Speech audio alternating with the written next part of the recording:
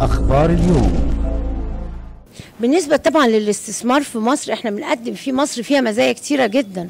إحنا اولا 90 مليون. يعني أي مشروع هيتعمل على أرض مصر ضامن التسويق والبيع ليه.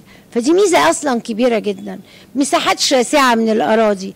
دولة النهاردة بتسعى لجذب المستثمرين العرب والأجانب.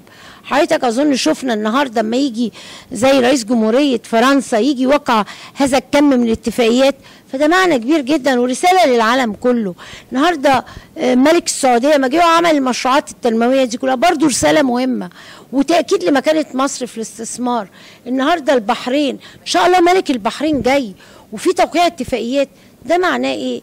إن مصر فعلا ليها بعد استراتيجي وميزة تنافسية غير عادية لاجتذاب الاستثمارات. والنهاردة السياسة الجديدة الناس كلها شايفاها من فخامة الرئيس هو بيطلع بنفسه بيسوق بنفسه بي بيدعو الاستثمار بنفسه. ده في حد ذاته يعني نقطة جاذبة. يعني معنى كده إيه؟ مش فكرة حكومة ولا قيادة سياسية بس في إرادة سياسية لدعم الاستثمار. عايزين حتى لو في معوقات حتى لو عندنا مشاكل القائد الأعلى بتاعنا والزعيم عايز الاستثمارات. يعني أي مشاكل هتذلل لو مش حالا ففي وقت. مفيش حاجة بتعمل في 24 ساعة. لكن هتتعمل وجاية وده اللي مطمن الناس. واللي عندهم من الذكاء الاقتصادي باصين لبعيد. فاهمين؟ ما يبصوش تحت رجليهم. لا البلد بتتطور. في دخول آه، دول بشكل قوي. الناس كلها بتجري مهتمة بتوقيع هذه الاتفاقيات مش من فراغ. دي دول. دي ناس دارسة دي ناس عندها خبرات عالمية ودولية معاها مستشارين و...